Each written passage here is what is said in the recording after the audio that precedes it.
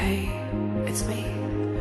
Look, I know it might sound strange, but suddenly I'm not the same I used to be. It's like I stepped out of space and time and come alive. Guess this is what it's all about.